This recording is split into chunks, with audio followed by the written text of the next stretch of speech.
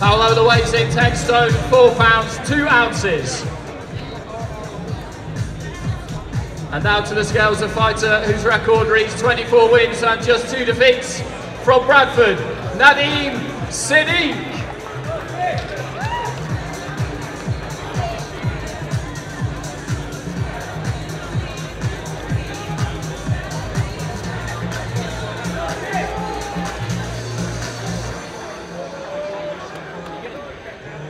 Siddique weighs in 10 stone, 12 pounds, 4 ounces.